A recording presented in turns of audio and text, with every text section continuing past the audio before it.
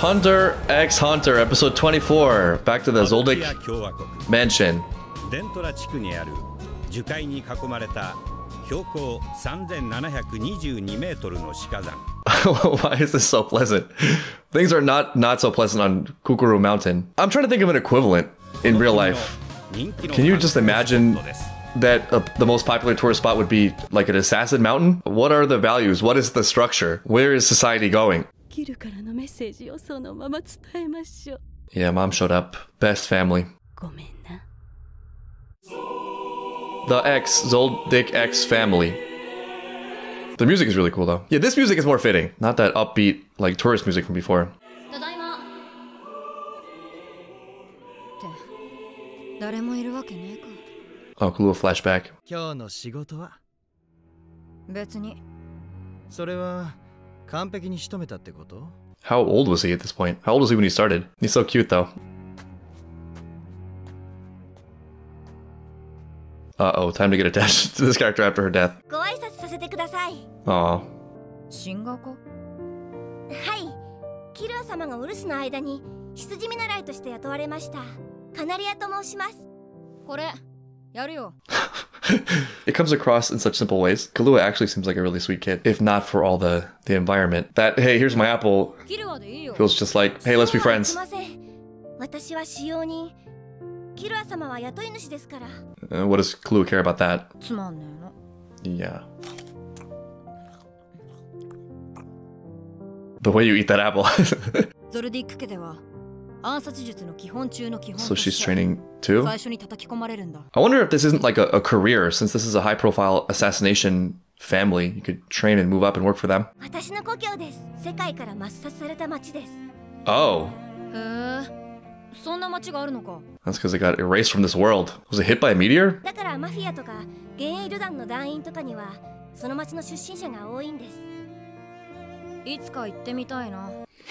Killua's top travel destinations, Mafia and Phantom Troupe City. Let's be friends. He's so nice, so generous. And Killua also, he seems like a kid who bonds through like a shared activity. So graceful.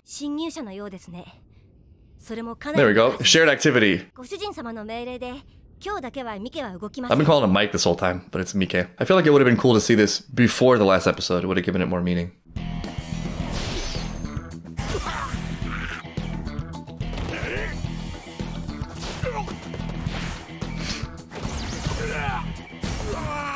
I hope she's still alive. Off chance, maybe. Damn, what the heck? I wasn't expecting this fight to be this cool. Killua was aloof, but you know he, he appreciates.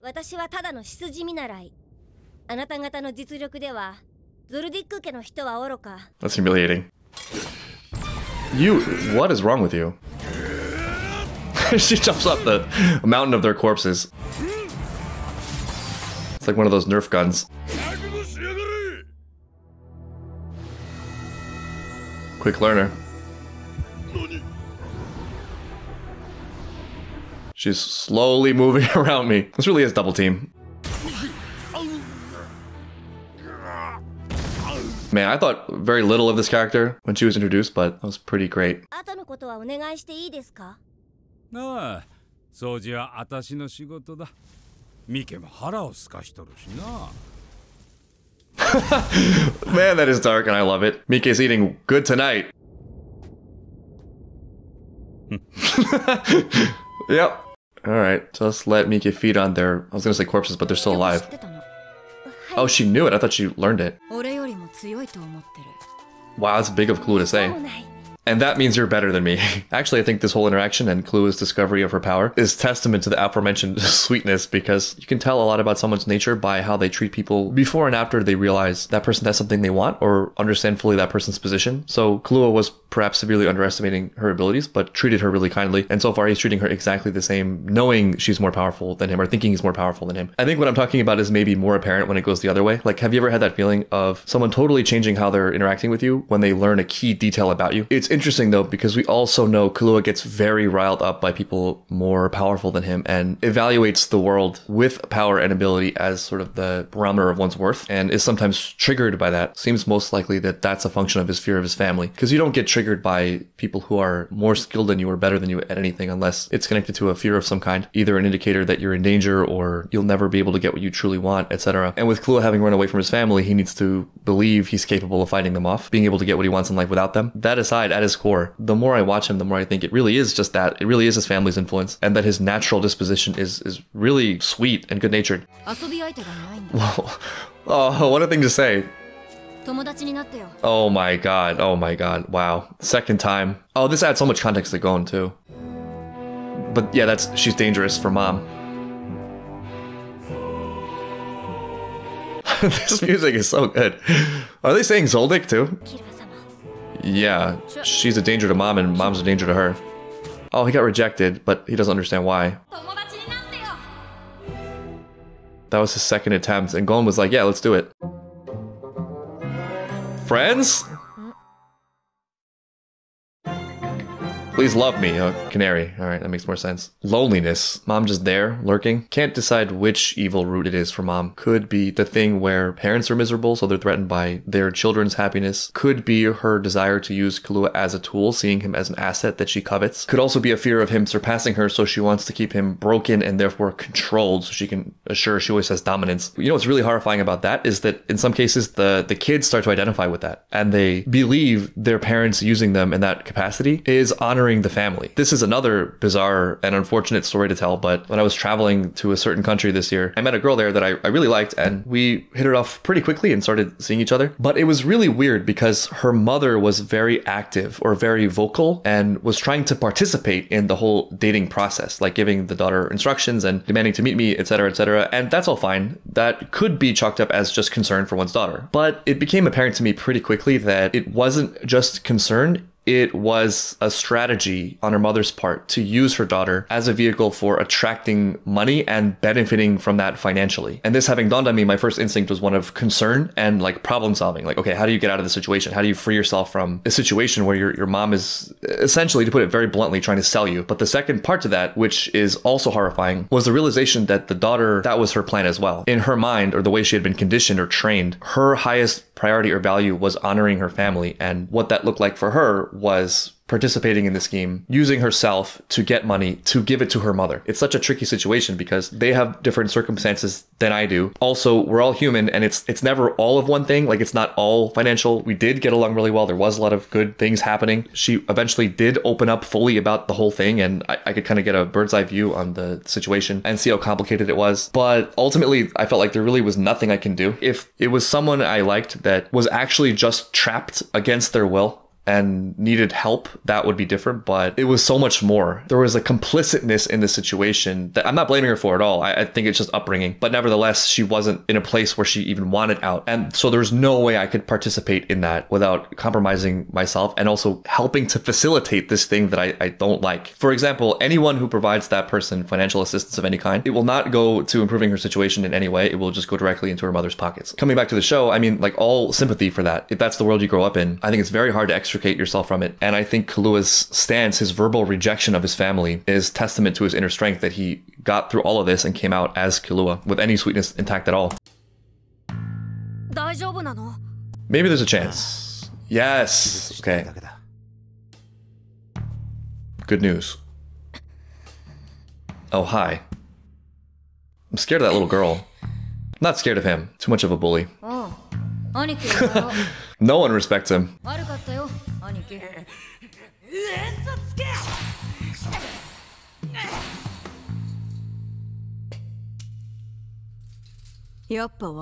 Wow, Killua just has his number, even while chained up.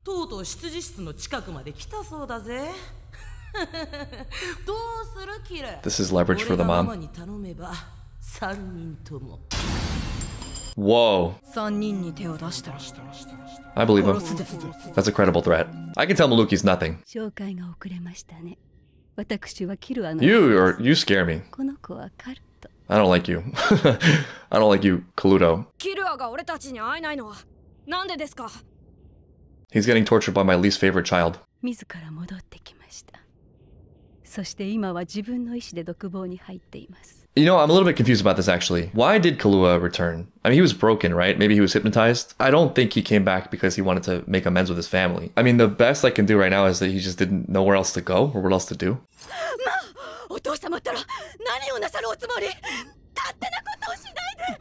That reaction, though, father puts her in hysterics. Oh, is that dad? I don't know what I was expecting, but it wasn't that. Oh, it's grandpa. Oh, Hi. Well, I should to just break out anytime, yeah.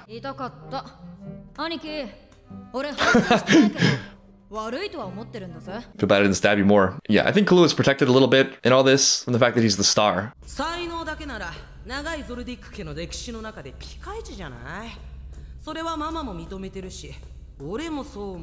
Okay, yeah, makes sense. ゾルディック家は継げないよ。要するにあいつは弱虫なんだよ。精神的にさ。うん Everything he says describes himself. Yeah, the bastion of emotional health.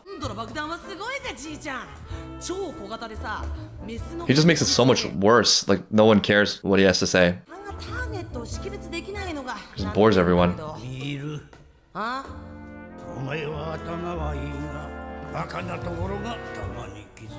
Sympathy for Mill, though, he's also a victim. キルアにそう伝えてくださいわかりました言っておきましょうそれでは A very interesting interaction. Again, not what I expected at all. It's very pleasant, or mostly pleasant. 言っちゃなんだが薄気味悪い連中だな I'm with Leorio. このまま戻るのは尺だぜ無理にでもついていかねえか Damn, bold. でもそうすると What about Canary? きっと彼女が責任を取らされるような気がするから She's also unconscious. Damn, he looks badass. That's more what I was expecting. うんどんな連中だどんなって一緒にいると楽しいよそうか This is very interesting. I think the first instinct is to think they're they're kind of just caricatures, but to give the writing and the world credit, if they're able to reach the heights they've reached, there's gotta be more to them than just bloodthirsty monsters. They have to be interested in the world, they have to be intelligent, they have to be awake. However evil they may be, it won't be that kind of animal blind evil, the unaware evil. 試験でどんなことをして誰と出会い何を思ったのかどんなことでもいい Huh. Actually feels like a interested father for a moment.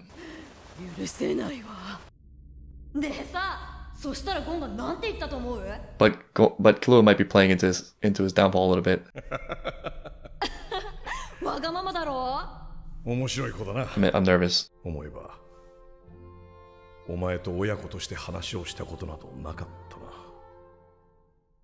I don't know what to think right now. 俺とお前は違う。What is this wholesome moment? そんな簡単なことに気づかなかった。this is so like so different from what I expected. It's like if Ozai gave Zuko his full blessing. Sorry I scarred your face. like what is happening? I want to kill all non-firebenders. You just want to play with your friends. Different strokes for different folks. I'm hoping this is a touching moment, but there's also a chance this is just excellent strategy. I think as a parent in a situation like this, you often make a mistake squeezing too tightly. If there's any bad blood, your opposition to what the other person is doing is part of the fuel for them to do what they're doing. To take a different tact and openly support drains that energy from the other person. So they're just left with their decision and it might not fully be what they thought they wanted in absence of their defiance. Add to that, sometimes it's about being noticed. You know, it's about making a statement. And if you don't get attention for it or there's no statement to be made, what's the point? And then there's also warmth, right? Like we accept you no matter what. We love you for who you are. That is tempting compared to the coldness of the world outside and the difficulty. お前はもう自由だ Is this really happening? 一つだけ誓え絶対に仲間を裏切るないいな誓うよ裏切らない絶対に 独房に戻りなさい Nuh-uh. Dad said. どけよ Wow, so so mom is the real issue, huh? 分かってるじゃねえかじゃあつべこべ言わずに黙ってろ Damn. いつか必ず戻って Yeah, okay, there's a little bit of a ploy in there, right? That was insane.